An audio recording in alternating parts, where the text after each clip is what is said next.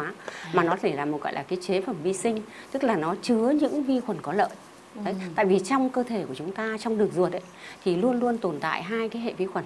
Một cái hệ vi khuẩn có lợi người ta còn gọi là các cái probiotic. Ừ. và cái thứ hai là các cái vi khuẩn có hại. Thế thì lúc nào là hai cái hệ vi khuẩn này thì nó tồn tại song song thế nhưng mà à, ở với người khỏe mạnh hay là ở với em bé mà có một cái hệ tiêu hóa khỏe mạnh thì bao giờ cái vi khuẩn có lợi nó cũng nổi trội lên lên.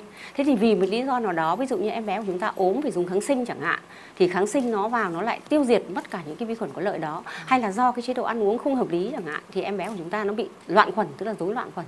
Thì lúc giờ nó mất cân bằng cái hệ vi khuẩn đường ruột và đấy chính là cái nguyên nhân dẫn đến cái rối loạn tiêu hóa rối loạn hấp thu.